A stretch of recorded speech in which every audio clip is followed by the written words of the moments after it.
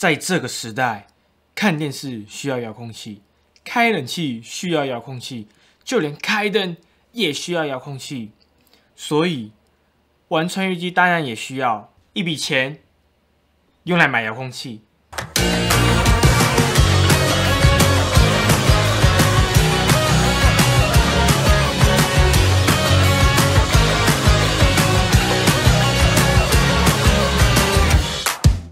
Hello，大家好，我不姓王，我叫王鹏。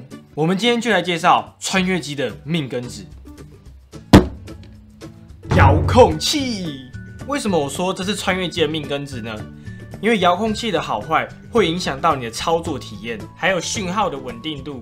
你想想看，如果你飞到一半突然断讯，那是不是飞机就直接坠落，甚至还有可能直接伤到路人？所以选择一把好的遥控器是非常重要的，就像。挑老婆一样，今天我挑了三款遥控器来推荐给大家，最便宜的只要一千块，所以别再说穿越机很贵，玩不起了，好不好？首先，我们先来介绍穿越机界的神器，X 九 D Plus 这款遥控器从穿越机开天辟地以来，深受玩家们的喜爱，很多神人都使用这款遥控器，就连我。也是使用这一款，而它的售价大约在台币六千元左右。再来，下一款就是我们的穷学生神器，Beta FPV 的 Radio Light。为什么说它是穷学生神器呢？因为它的售价只要一千块左右的价格就能买到了，是不是非常的划算？是不是非常便宜？可谓是良心的遥控啊！它的外观设计比较像游戏的摇杆，让刚接触的新手会有一种熟悉感，像是在打游戏那样。而它是专门为穿越机设计的，所以只保留了穿越机所需要的功能，其他多余的都阉割掉了，连荧幕都没有啊！非常洁白的一只遥控，你们可以看看它跟叉九 D 的差别。你看，其实我们穿越机啊，真正在飞行的时候，只会用到遥控器上面的三四个开关而已。像叉九 D 这么多开关，其实根本用不太到，所以这支 Radio Light Two 它只有四个开关，四个开关其实已经非常足够我们来飞穿越机了。最重要的是，这遥控器非常适合拿来玩模拟器，只需要一根传输线连接电脑就能玩模拟器了。最后我们要介绍的是穿越机界的 iPhone，我们的。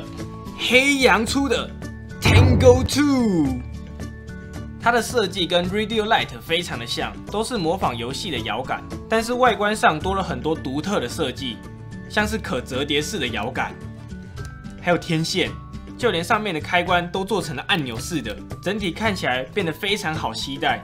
你全部折叠起来之后，它完全不会有任何一个东西凸起来，像是 X 九 D，它如果放到包里面，你看这几个开关。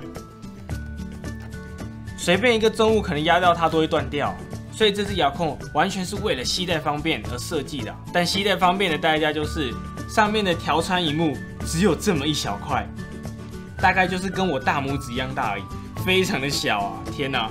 还有就是它的遥控频率啊，跟其他两只遥控不一样，其他两只遥控走的频率都是二点四 G，它走的是九一五的，听起来很复杂，是不是？其实简单来说，你只要理解九一五是低频率的讯号，它可以比二点四 G 飞得更远、更稳定。但相对来说，它的接收器就是会比较贵。像这两款遥控器的接收器啊，大概都落在四五百左右。而这一款的接收器啊，一个单价就要一千块。而这遥控的售价呢，大概是台币六千元左右。它其实有两个版本。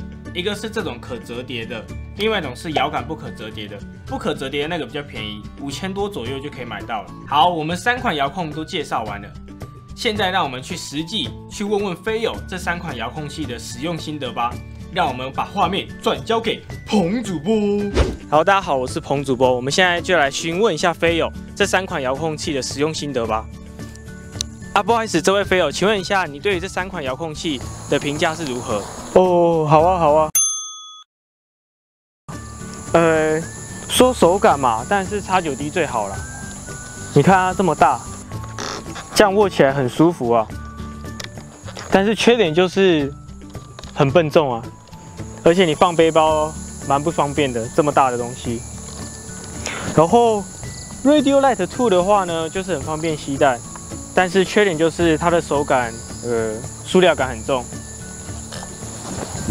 Tango Two 的话，手感确实是好了一点，但是还是一样，手感没有叉九 D 这么好。